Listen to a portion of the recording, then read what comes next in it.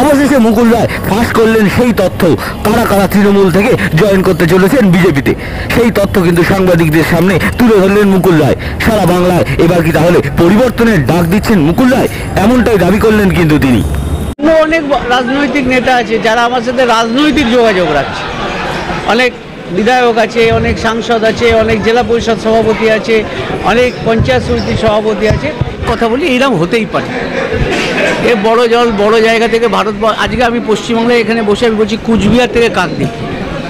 নির্বাচিত জেলা পরিষদ, নির্বাচিত পঞ্চায়েত সমিতি, নির্বাচিত গ্রাম পঞ্চায়েত, নির্বাচিত পঞ্চায়েত সমিতি, নির্বাচিত বিধায়করা এবং নির্বাচিত সাংসদরাও যোগাযোগ করছে যে কীভাবে ভারতীয় জনতা পার্টিতে যোগ দেবে।